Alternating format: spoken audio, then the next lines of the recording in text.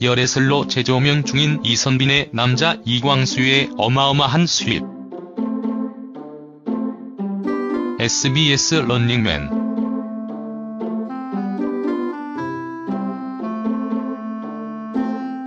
인사이트 황비 기자 배우 이광수와 이선빈이 깜짝 열애 소식으로 2018년을 화려하게 수놓았다.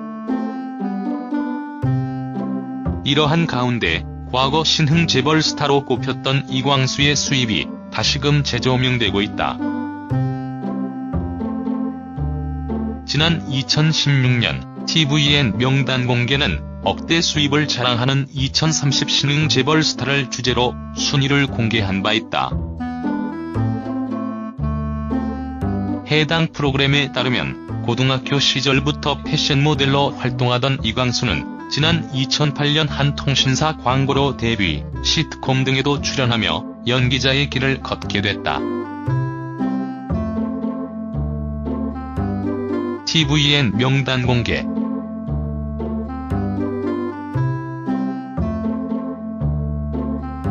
이광수가 아시아 프린스의 별명을 얻게 된 건 바로 SBS 예능 프로그램 런닝맨에 출연하면서다.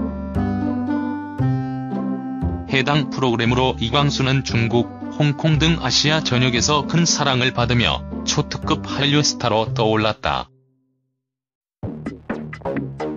방송에 따르면 이광수는 데뷔 초 80만 원의 광고료를 받았지만 5년 뒤인 2013년에는 편당 2억 원대의 개런티를 받게 됐다.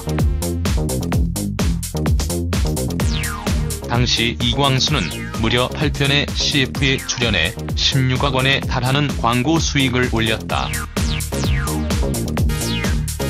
tvN 명단 공개 중국에서도 그의 위상은 놀라웠다.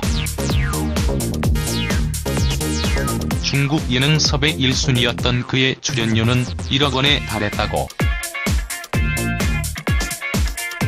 중국에서의 그의 인기는 현재 진행형이다.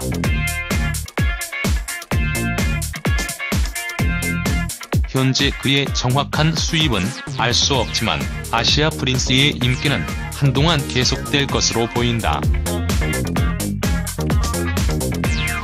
매년 어마어마한 수입을 얻는 것도 모자라 사랑까지 찾은 이광수에게 누리꾼들의 부러움이 쏟아지고 있다.